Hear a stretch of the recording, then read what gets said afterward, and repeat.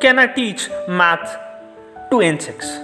Or already they are better mathematician? When you observe properly, nature itself is a great mathematician in many cases. In that, we shall discuss one case that is honeybee. Honeybee have ability to calculate angles and this skill they will use to construct beehive. Just zoom in and see beehive and observe the shape. Yes, it is hexagon. Why hexagon? Why not other shapes? Honeybee needs 8 ounce of honey to produce 1 ounce of wax. By this wax only it will construct beehive. So wax is that much valuable wealth, bee should use it properly.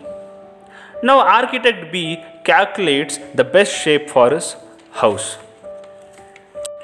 Why not circle architect Bee?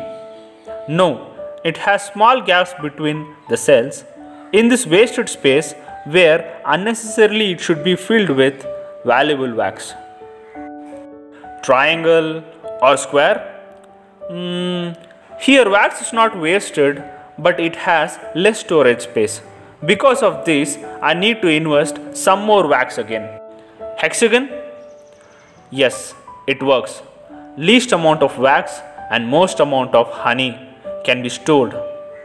Finally, if we calculate area of all shape, hexagon will give more storage space. How did honeybee know this? Are they smarter than us? Yes, nature is smarter than everybody.